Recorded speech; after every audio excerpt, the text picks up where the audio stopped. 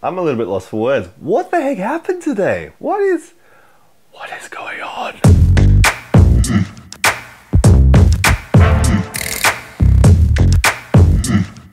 Guys, welcome back. Look, I, uh, I, I had a very interesting conversation on Facebook today. It's been a very divisive topic about the Trump election and also about the Women March. Now, I was just asking an innocent enough question, although I knew this could have been met with a lot of uh, interesting opinions just about what the Women's March was. And I genuinely, genuinely was trying to find out information about what this march was about because I was looking and seeing the march on the media and I just was looking at it going, what are these people marching for? It looked like some people were marching for abortion rights. It looked like people were marching because Trump was going to bring in some uh, Muslim registration stuff. It looked like people were going to march because they wanted a better future for their kids. There was a whole lot of things that people were marching for, which, look, I'm all for people marching for things that matter to them. But the question I had was, what were they marching for? I even went to the website to have a look and the Facebook page, and I couldn't actually find anything that actually said, we are marching because this. Now, I'm on the Women's March website, and this is apparently the page, I guess, that would tell me everything that I need to know about what this is about. Um, look, I'm reading it. I, I, I get it. I get what they're marching for, but I don't actually see anything specific about what they're marching for. As in, they're saying that they're going to march because they feel their human rights as women are being jeopardized. But I don't understand what part of Trump's policy is actually jeopardizing their freedoms.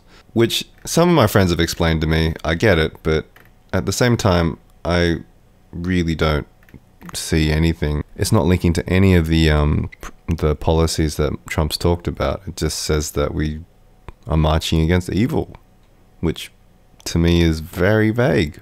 One thing I did learn today is interesting reading all the threads, and I have to say, I think I've got this down. And today's topic is about how to start a successful flame war.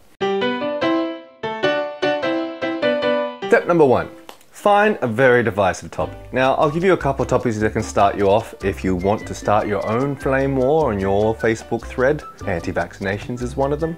The Trump election is a very obvious one. Or climate change.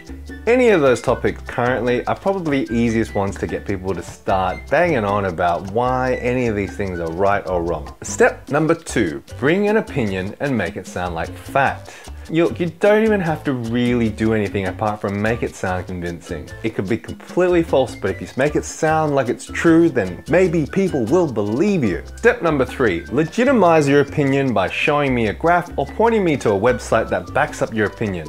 Confirmation bias is exactly the name of the game here. Find something that completely backs up everything that you say. Whatever you said, Find something on the internet that backs you up. That's the name of the game. Step number five. Now, if you can't back up your facts and the website has gone to pot and everybody's starting to attack you and telling you that you're just wrong, then what can you do? Well, that's the last step is to actually personally attack them. That's it. Go after them. Call them names. Insult their intelligence, their age, or their gender. Nothing is off the table. If you really want to infuriate somebody, attack their personality. That's the best way to get a rise out of somebody. You can argue them into believing your side of the argument.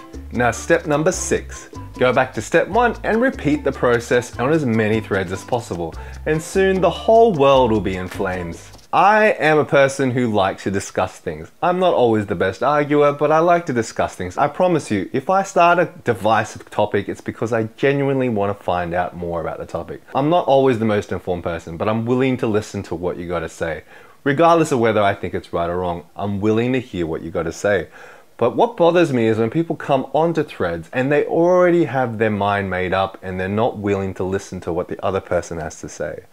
To me, that's not constructive. Anyway, guys, I love you all. I really do. And I'll see you guys next time.